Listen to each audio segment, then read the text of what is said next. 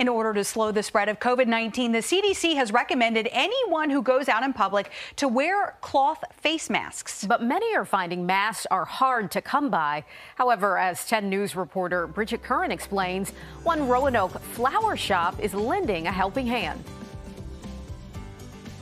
Floral scissors to fabric ones.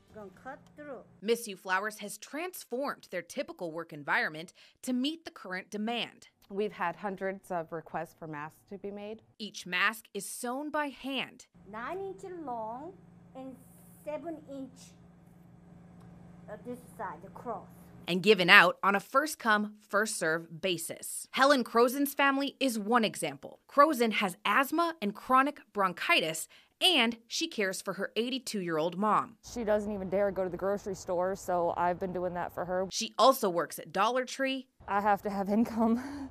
and I'm an essential employee because we sell groceries and medications and cleaning supplies. All while parenting two daughters who are doing what they can to spread peace and love. Thank you.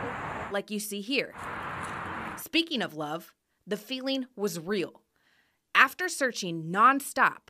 At least 12 plus places for masks and gloves.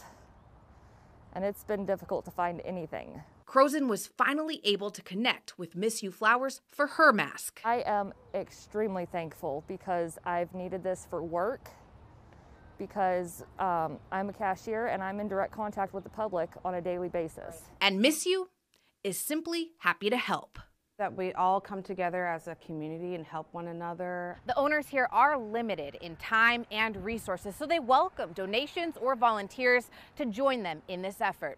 In Roanoke, Bridget Curran, 10 News, working for you.